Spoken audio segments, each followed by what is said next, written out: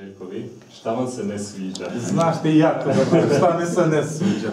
Ne sviđa mi se Julia i Michael Connor, jel? Konor, Konor. A dobro, nije ni zaslužio da mu kažem pravo ime. Zato kaj je otel kompiću djevojku. Ma nije znam, očima su jedno drugo gutali, to me... A oni nisu mogli protiv toga. Pa nisu mogli protiv toga, to je jače.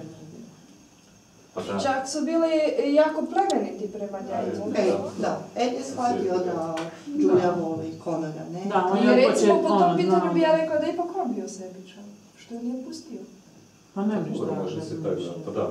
Ali mislim, ja isto ne bi osuđivao Juliju biti kaj Ja ne što više cijenim ju kaj je toliko dugo izdržala. A nije mi je žao, Julia mi nije nimalo žao. Pa nema zašto, ona je zapravo jaka žena koja Da, pa je na kraju da. sretna. Da. Sretan završetak. Ma nek bude sretna ide. Kaj se tak srditi na nju? Pa mislim, dobro je sve isto. A dobro, noste si ju doma. Zanimljiv je način na koji Željko ovoga doživljava neke likove, pa je to ono uvijek bude mm, na neki način predmet za diskusiju. Evo danas smo raspravljali o knjizi Čovjek koji iskakao srce požara i recimo u, nama se većini svidjela e, u knjizi, ali je Željko imao svoje mišljenje o njoj i to je bilo baš onak simpatično. Svi iznesu svoj stav najviše. Ko bi bio najviše da iznese svoj stav? Ja sigurno si imao riječ. A recimo najviše volim ovako dok ima, mislim dok neko isprovocira nešto, jel kak je Željko, jel što isprovocira, pa onda stvarno stvori dinamiku pa to ide. Alen je dobar moderator, doista, pripremi se za svaku knjigu i vidi se da je bio i na edukaciji, tako da zna ovoga kako se to radi. A, ali mi je za deset, mislim, nema se šta reći, on je stvarno ono super i... Na muš mis. Mora gasit vatru. E, On je do, zna dobro donesti. Do- Još da se rasplamsa to. Da, je, baš sam to htjela reći. Recimo, on onako još da nekakav citat kojeg se mi ne sjetimo, ima u pripremi, jel nešto gdje će još malo Potpali. potpaliti vatru. Ali u svakom slučaju sve to, mislim, pozitivno, jel, kvalitetno, onako da to ide nekim tokom i da stvarno čujemo, isprovociramo e, mišljenja i stavove svi u nas koji jesmo tu. E, mislim da evo, niko tu u ovoj grupi sad nije bio sretan dok smo mi dali amen da Amerika i NATO bombardiraju Siriju. To, a ko je od nas rekao, ko je od nas izašao na ulicu Da. i "Evo, nećemo dosta. A i da je... A vrijedi izaći kad vidimo druge, evo možda i zbog toga, Jer smo premali. što nemamo Ali opet bi imali mirnu savjest. Da. Zakaj Hrvatska nije mogla reći, "E, mi to ne podržavamo i nećemo. Nećemo vam dati ni A evo Zakaj, mogu se sad vratiti na ovu trenutnu situaciju. Zakaj, pogledajte kak sad Hrvatsku pritišću zbog ovoga što se događa. Žica s jedne strane, žica s druge strane i pritisak ljudi s treće strane.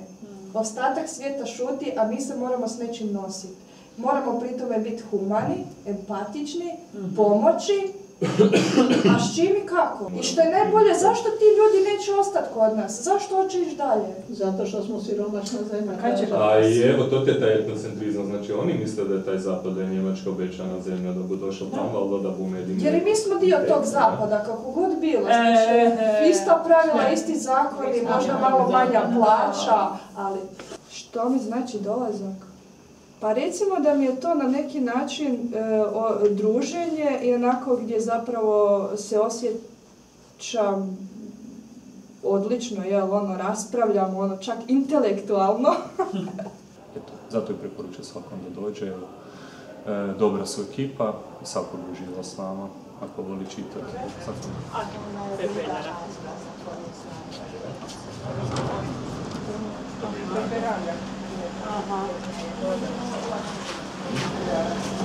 Geršić možda? E, Budinovac? To mi je od učiteljice iz osnovne škole čitateljski klub slijepih Čišmiš, Koprivničko-križevačke županije, djeluje sad već godinu i četiri mjeseca. Ti do ove godine mi smo bili jedini čitateljski klub slijepih, sad ima čitateljski klub slijepih u Karlovcu, ali ne djeluje u sklopu udruge slijepih, već u sklopu knjižni, gradske knjižnice u Karlovcu. A, još uvijek su prisutne predrasude, iako udruga puno radi na tome da znači te e, komunikacije između slijepih i videćih budu što bolje, ali još uvijek ima predrasuda videćih pa ono od e, tipa sažaljenja, ovo pa gledaj kako su jadni, ne, a ti jadni idu na čitateljski klub, a možda su to rekle osobe koje nisu pročitale e, možda ništa ili možda nešto. Možda ni novi. Da, a s druge strane ima i oni koji ono, ah, kud opće ti slijepci idu, ne, kaj ne, nisu samo kod kuće. Nekak ne želim da me neko sažaljeva.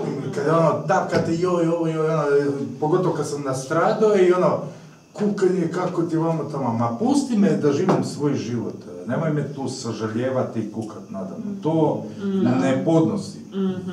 Pomogni mi ako možeš, ali Da. ne iz sažaljenja, nego iz nekakve solidarnosti ili iz, Humanosti. iz humanosti, da, da. Pa najradije čitam e, knjige koje govore o realnim temama, znači stvarnim temama, najviše volim drame. naravno malo ljubavni ti romani, događaji, e, povijest Zagreba, povijest Varaždina. Pa ja od knjiga volim sve, možda malo povijest više. E, Knjige se biraju na principu, znači da svaki član jedan mjesec predloži dvije knjige po svojem izboru, a mi kao grupa glasanjem izaberemo koju ćemo knjigu čitati. Mislim da bi druženje sa knjigom je onak druženje s jednim, kako ja velim, tajanstvenim prijateljem s kojim nikad ne znaš kakav će biti završetak i kraj. Ja volim kad raspravljamo o knjigama, jednostavno volim se družiti sa, eh, s ljudima koji smo, znači, isti. Ja uvijek govorim da je to i moja druga obitelj, moja braća i sestre i fantastično, jednostavno fantastično se osjećam. I volim dolaziti. Veselje je. Znamo se nasmijeti, znamo se našaliti na svoj račun. Pa zato što volim žene. Mislim, sami dolazak, to mi je vrlo interesantno. Druženje sa mla- mlađim ljudima, ja sam najstarija tu, živim u staračkom domu. Sad smo bili na 50 godišnjica Hrvatske knjižnice za slijepe i prema najnovijem istraživanju u Hrvatskoj je u biti pokazalo da najviše od sve populacije u Hrvatskoj čitaju slijepe osobe. E, Da, mi svi kažemo da čitamo knjige, a mi u stvari slušamo knjige, ali evo nešto nam je to jednostavnije, čitamo knjige, kao i, na primjer, kad se sretnemo s nekim i kad se rastajemo, vidjet ćemo se, a u stvari mi pojedinim se nećemo vidjeti, pošto ne vidimo.